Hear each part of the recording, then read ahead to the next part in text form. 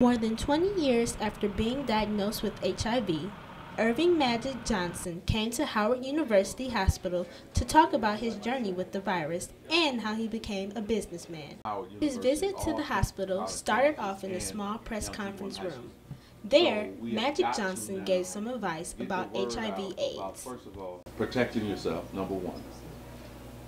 Being educated about HIV and AIDS then go get tested and then go back for the results because after the press conference magic johnson went to the hospital's auditorium where he was able to answer questions directly from the school of business students from howard university. Make sure what you're going into there's a business that you can do because unfortunately sometimes we go into things or want to get into a business there will be no business one student was able to speak directly to Magic Johnson and told Spotlight key points that he took from the conversation. I learned that I need to keep a strong work ethic being a freshman finance major, and I also learned that I need to see the goal right now in order to make it happen in the future. Bailey says that he can start applying what he learned to his life now.